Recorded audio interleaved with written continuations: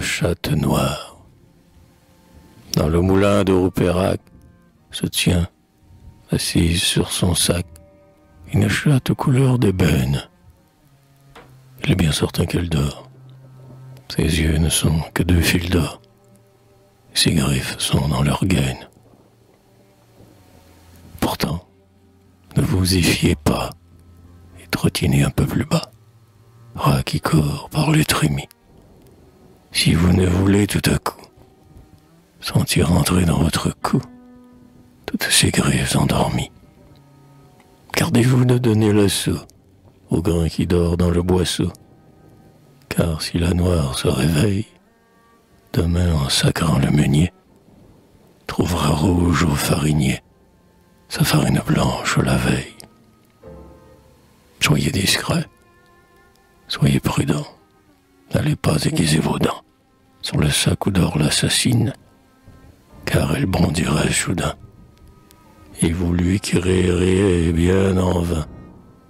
Cousine, cousine, oh, cousine.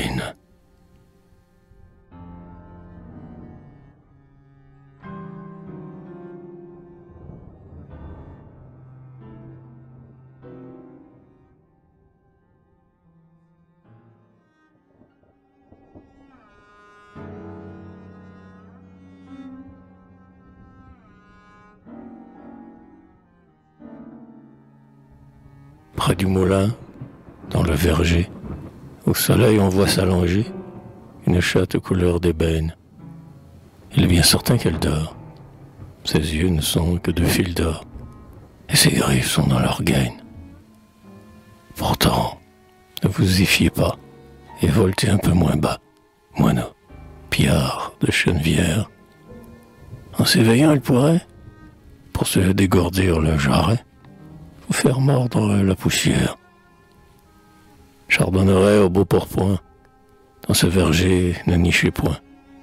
Roitelet, mon rouge-gorge, pinceau, hôte du vieux poirier. Écoutez donc, j'entends crier des oisillons que l'on égorge. Oh, c'est la chatte noire, hélas. Elle rôdait par les lilas, ainsi qu'un tigre dans les jungles. Effleurant quelques fins souper, jusqu'au nid elle a dû grimper. Gare à ses dents, gare à ses ongles.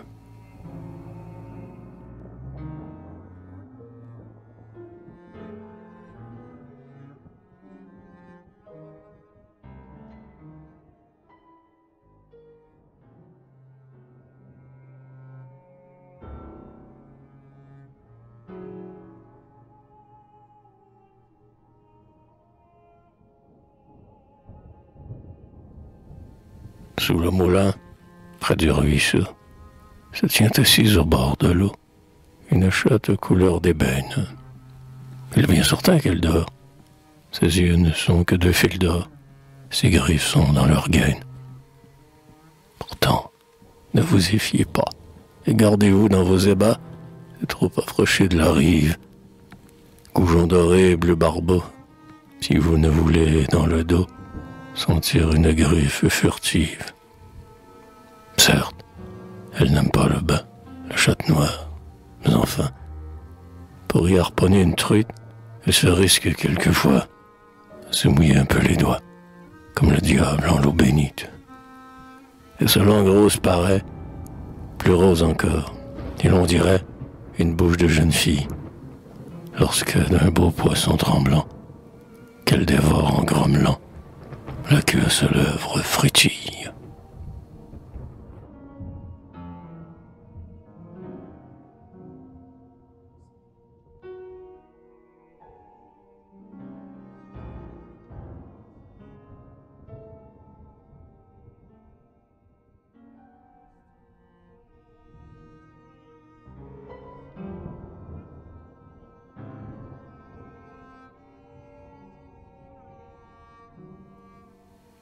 À Ropérac, dans le bois noir, on voit souvent quand vient le soir une chatte couleur d'ébène. Elle passe, ouvrant ses yeux d'or, aussi discrète que la mort, aussi farouche, aussi soudaine. En face du chasseur transi, elle vient à l'affût aussi, dans l'herbe où sa robe se mouille. Elle fait face au braconnier. Et bien souvent, c'est ce dernier de la forêt sort, bredouille. Ainsi, garde-vous la proie, à peine aussi rusé que gros. Le chat noir est sur la paille, des nourrissons, vrai pas, qui pourrait bien dans vos dépens, demain matin faire paille payé par leur jeu extravagant dans votre peau taillée des gants, puis traîner leur immense proie tout un jour par le corridor, tel Achille traînant Hector autour des murailles de Troie.